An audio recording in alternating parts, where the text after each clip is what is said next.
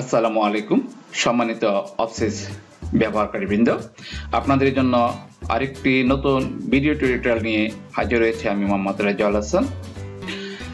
আপনারা অনেকে একটি সমস্যায় পড়েছেন যে আপনাদের ল্যাপটপ সিক্সটি ফোর বিটের তাই আপনারা আপনাদের ল্যাপটপে অফিস ইনস্টল করতে পারছেন না, যেহেতু office thirty two bit support করে।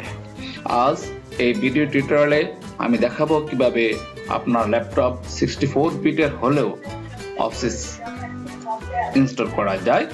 এ সম্পর্কে পুরো টিউটোরিয়াল থাকবে। আশা করি আপনারা প্রথম থেকে শেষ পর্যন্ত মনোযোগ সহকারে দেখবেন। আমার এই ল্যাপটপে office three sixty five install রয়েছে। দেখে আমি এটার মধ্যে অফিস ইনস্টল করতে পারি কিনা। প্রথমে আমি ফেস অফিস গ্রুপ থেকে office two point nine download করে নিয়েছি এবং এটি এখন আমি ইনস্টল করব। দেখে ইনস্টল হয় কিনা আপনারা দেখেন। আমরা জানি অফিস থার্টি টু বিট ছাড়া ইনস্টল হয় না, কিন্তু এটি সিক্সটি ফোর বিটের, তারপর আমি চেষ্টা করছি অফিস ইনস্টল করার। দেখি হয় কিনা। কিন্তু অফিস কিন্তু সিক্সটি ফোর বিটে ইনস্টল হবে না। এই যে আপনারা দেখতে পাচ্ছেন এখন দেখবেন থার্টি টু বিটের কথা বলবে সিক্সটি ফোর বিট ইনস্টল হবে না। তো যেহেতু হয়নি, তাই আমি এখন আনইনস্টল অফিস ফাইলটি আনইনস্টল করে ফেলব কন্ট্রোল প্যানেল থেকে।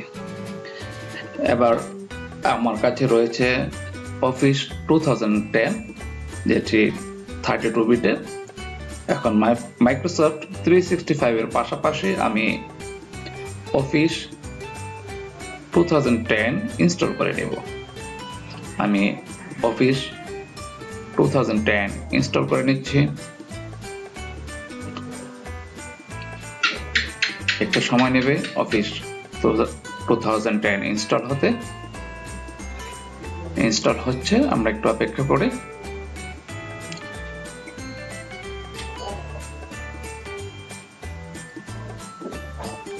একটু সময় লাগছে। আমরা একটু অপেক্ষা করছি office two thousand ten install করার জন্য। এবং ইনস্টল হয়ে গেল।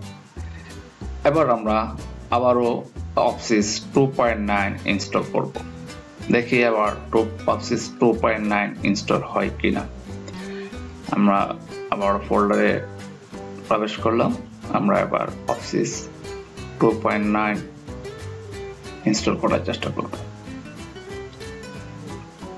কীভাবে সফটওয়্যার ইনস্টল করতে হয় তা আমরা সবাই জানি। এবার দেখি কোনো সমস্যা হয় কিনা, নাকি office two point nine install হয়।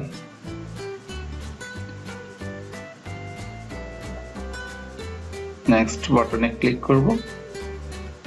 এখানে একটি গুরুত্বপূর্ণ বিষয় যে অফিস সাধারণত আপনার ল্যাপটপের ডি ড্রাইভে ইনস্টল হয়। কিন্তু এখানে পাথ দেখাচ্ছে সি ড্রাইভ তাই এটাকে আমাকে অবশ্যই চেঞ্জ করে ডি ড্রাইভ করে নিতে হবে। আমি চেঞ্জে ক্লিক করব। এখানে দেখেন নির্দেশনাবলী রয়েছে।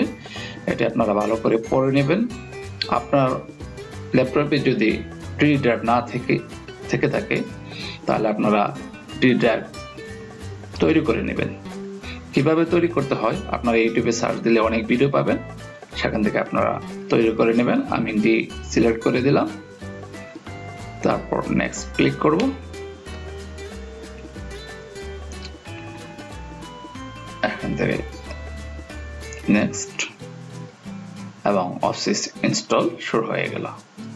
এবং আমার মনে হয় অফিস ইনস্টল হয়েছে। আলহামদুলিল্লাহ, অফিস ইনস্টল হয়েছে। ইনস্টল হলে চালু হয়ে যাবে। বা দেখি কি হয়। সফলভাবে ইনস্টল হলে অফিস চালু হবে। হ্যাঁ অফিস চালু হয়ে গেছে। আমরা ডান দিব। ডান দিয়ে office password one two one log in করব।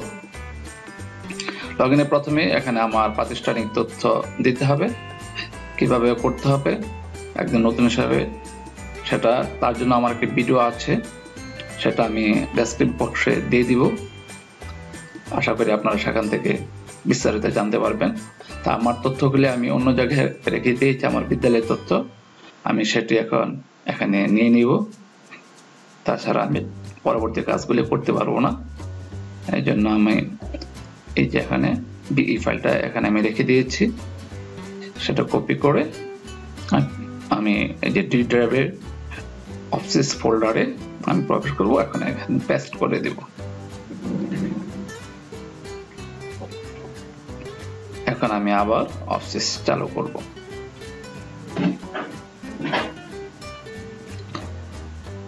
আমি আবার অফিস চালু করছি। ইউজার আইডি অফিস এবং পাসওয়ার্ড হলো ওয়ান টু ওয়ান আমরা এটা মনে রাখব। এখন আমার যেহেতু এটা Rajaul Hasan password one two one okay log in office install হয়ে গেল, উনত্রিশ নং সরকারি প্রাথমিক বিদ্যালয়। তাহলে আশা করি আপনারা এভাবে অফিস সিক্সটি ফোর আপনার ল্যাপটপ সিক্সটি ফোর বিট হলো আপনার অফিস ইনস্টল করতে পারবেন। এবার আমি দেখাবো আপনাদের কীভাবে ধারাবাহিক ধারাবাহিক মূল্যায়নে আপনারা কীভাবে, এখন আমি আপডেট করে নেব ধারাবাহিক মূল্যায়ন আগে। অফিসেস গ্রুপ থেকে আমি যে নতুন আপডেট দিয়েছে সেটা ডাউনলোড করে নেব। আমার অলরেডি ডাউনলোড আছে, আপনারা এখান থেকে ডাউনলোড করে নেবেন এবং আপডেট করে নেবেন। আপডেট করতে হলে আমি আমার ডাউনলোড ফোল্ডারে আমি যাব। ওইখানে গিয়ে সফটওয়্যার অপশন থেকে আমি যে ডাউনলোড করেছি, ওটি আনজিপ করব। রাইট বাটন ক্লিক করে আমি এক্সট্রাক্ট হেয়ার দেব বা এক্সট্রাক্ট অল পরবর্তী কাজ ওকে এখানে আপডেট অফিস এখানে ক্লিক করব ওপেন এখানে আমরা ক্লিক করব। কীভাবে আপডেট করতে হয়, আপনারা অনেকে জানেন, যারা না জানেন, তারা একটু ভালো করে দেখে নিন। Two point nine point four রিবি four update হচ্ছে ডান তো অফিস আপডেট হয়ে গেল। এরপরে আপনাদেরকে আমি দেখাবো কীভাবে ধারাবাহিক মূল্যায়ন করতে হয়। প্রথম শ্রেণির যেহেতু এটি আমাদের নতুন অফিসের মাধ্যমে অত্যন্ত সহজ পদ্ধতিতে ডায়েরি ওয়ান থেকে স্বয়ংক্রিয়ভাবে ডায়েরি টু তৈরি এবং আমাদের রিপোর্ট প্রবেশ করলাম প্রথমে রয়েছে শ্রেণি সিলেক্ট করে নিব, তারপর বিষয় সিলেক্ট করব, তারপর ওখান থেকে মূল্যায়ন নির্দেশিকা আমাকে সিলেক্ট করতে হবে। মূল্যায়ন নির্দেশিকা সিলেক্ট করে আমি সার্চ স্টুডেন্টে ক্লিক করব। এই যে শিক্ষার্থীর নাম এসে গেল, আমি কাকে কি দিব? সেখানে আমি শুধু টাইপ করে দিতে পারি K S A K for knowledge S for skill A for attitude আপনারা এবার টাইপ করে দিতে পারেন, অথবা ড্রপডাউন কি রয়েছে, সেটা থেকে আপনারা সিলেক্ট করে দিতে পারেন। যেহেতু আমি একটি এখানে ওয়ান আবার লিখে নিব। অর্জন উপযোগ্যতা ডায়েরি টু এই যে হয়ে গেছে। আশা করি আপনারা সহজে এগুলি করতে পারবেন। আপনারা একটু দেখে নেবেন। আমি ধারাবাহিকভাবে করছি। আপনার একটু মনোযোগ সহকারে দেখেন।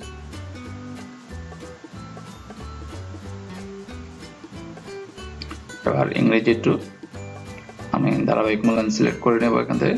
মূল্যায়ন নির্দেশিকা। আমি আপাতত নিচ্ছি। প্রথমটাই আপনারা তৃতীয় প্রান্তিকের জন্য শেষের দিকটা নেবেন অবশ্যই। আমি দেখানোর জন্য নিচ্ছি। কে এস আপনারা লিখে দিতে পারেন। অথবা আপনারা ড্রপ ডাউন কি রয়েছে ড্রপ ডাউন কি থেকে সিলেক্ট করে নিতে পারবেন।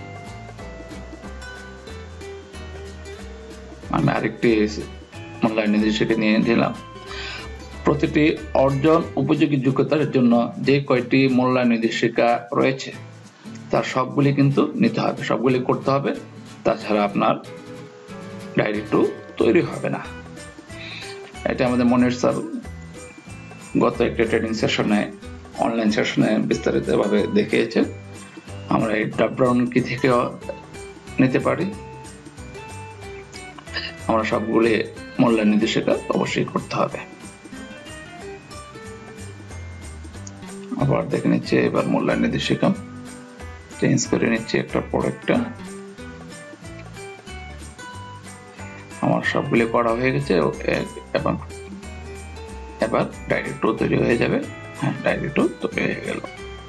আপনারা দেখতে পাচ্ছেন, তা বাংলার জন্য করলাম ইংরেজির জন্য, গণিতের জন্য করা হয়েছে। এবার পরবর্তী বিষয়, যে দুই বিষয়ের জন্য করেছি, দুইটা আশা করি বাকি বিষয়গুলির জন্য আপনারা এগুলো করতে পারবেন।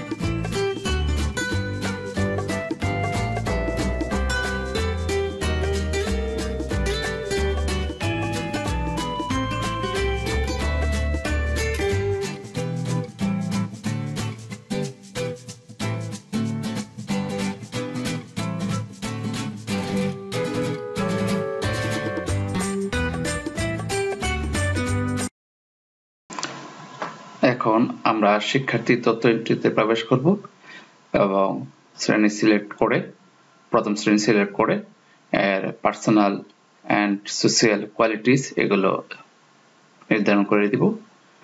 ড্রপডাউন কিতে ক্লিক করব এবং এগুলো ফিক্সড করে দিব।